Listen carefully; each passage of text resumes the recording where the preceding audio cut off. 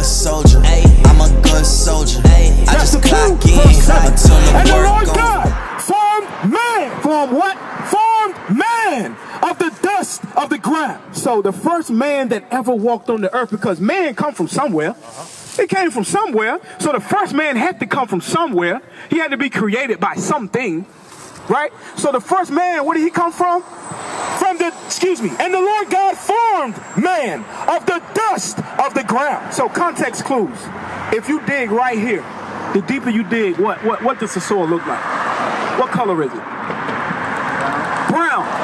And the deeper you dig, the darker it gets. So the first man that was created on the earth was a black man. Right. And the woman didn't come first. The most High, the most we, we understand that the Most High created man first. Watch this. So he wanted to be deep. Go to Genesis 1 and 27. Watch this. Watch this.